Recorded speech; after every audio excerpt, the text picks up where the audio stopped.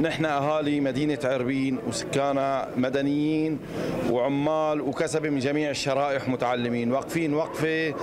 عسى الله أنه يرفع البلاء عن هالمدينة واستجابوا بعض الإخوة للحلول السلمية.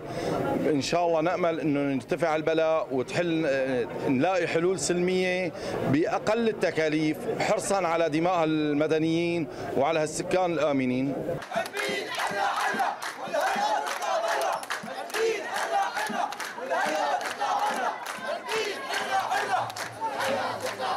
نحن شعب الغوطة خرجنا الآن لنعبر عن احتجاجنا لكل فكر لا يريد السلام للعالم ون- ونريد أن نفهم الجميع في هذا العالم أننا شعب سوريا شعب, الوط... شعب الوسطية.